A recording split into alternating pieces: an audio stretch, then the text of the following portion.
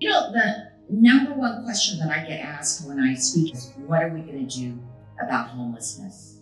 Port is a tremendous solution to the issue of homelessness because you are going right there to the street to make sure that those who are out there can get the help that they need. Today, Congresswoman Judy Chu presented a $900,000 check to the Pasadena Outreach Response Team, also known as PORT, and the money is going to continue funding so that Pasadena Outreach Response Team, which is the Public Health Department, Union Station Homeless Services, Pasadena Fire Department, and Huntington Health, can continue their collaborative outreach to our homeless population here in Pasadena so that we can continue taking clients to clinical appointments, to detox rehabilitation, to go to housing appointments and helping them with on-field medical screenings. Part two's main focus was to handle 911 calls so that way we're not getting an armed response for individuals experiencing homelessness.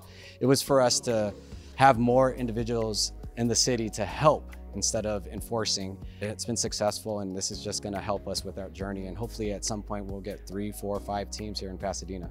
So instead of armed officers responding, it's a firefighter and a social worker that's able to resolve the call and then enroll, enroll those clients into services so that the calls don't have to be made in the future and that it gives the clients an opportunity and a pathway to stability and eventually even housing from there.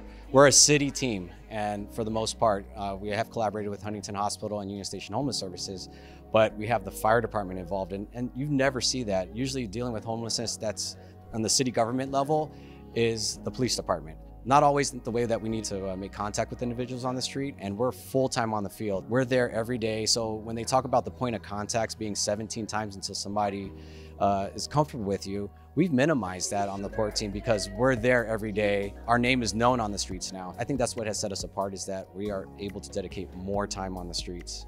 A lot of veterans are like this, PTSD and all that things like that. They don't they don't really want help. But with the port team, it's totally different. Totally different. They're on you. On you. They gotta make sure that you, you, you know you get help. You get help if you want it. But a lot of veterans don't want help. That's the only problem right there. A lot of them is like, oh, I'm okay, I'm okay. And I heard about Tony Z from some prior friends of mine.